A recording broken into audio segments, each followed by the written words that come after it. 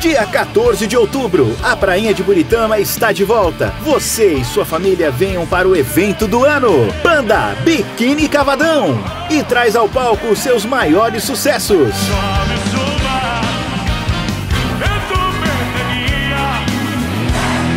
E não é só música, é a volta da Prainha de Buritama, reformada, mais bonita e pronta para atender toda a região. Não perca! Realização Prefeitura Municipal de Buritama. Apoio SBT.